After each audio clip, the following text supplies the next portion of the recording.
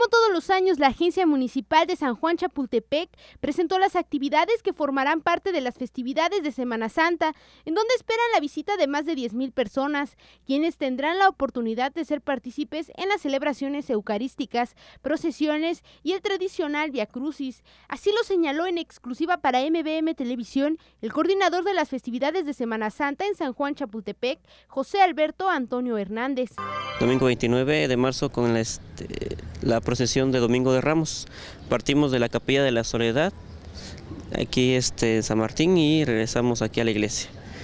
Aproximadamente a las 10 de la mañana, posteriormente tenemos lo que es este, actividades de Jueves Santo.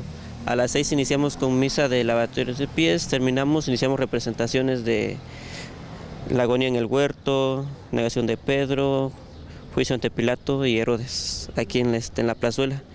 Y el Via Crucis, que es el viernes, Iniciamos de la capilla de Loma Larga a Monte Albán y caminamos hacia aquí la iglesia.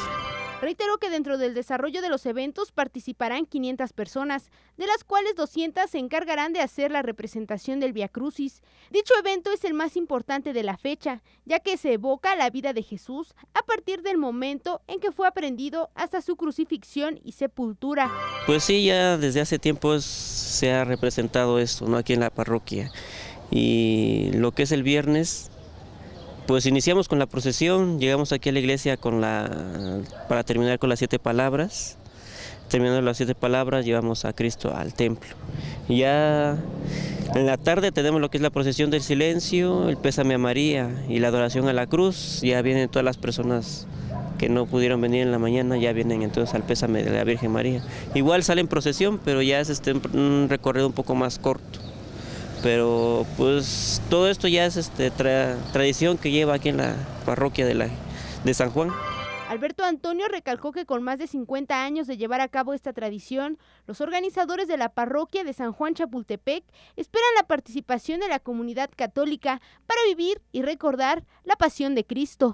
Pues invitamos a todas las personas a que se acerquen a vivenciar realmente lo que vivió Cristo en ese entonces. Y es muy padre todo lo que eso, todos los personajes que estamos aquí adentro, en realidad sí este, sentimos o damos a demostrar todo lo que se sintió Cristo. Con imágenes de Alan Ramírez, reportó para MBM Televisión, Vicky Ramírez.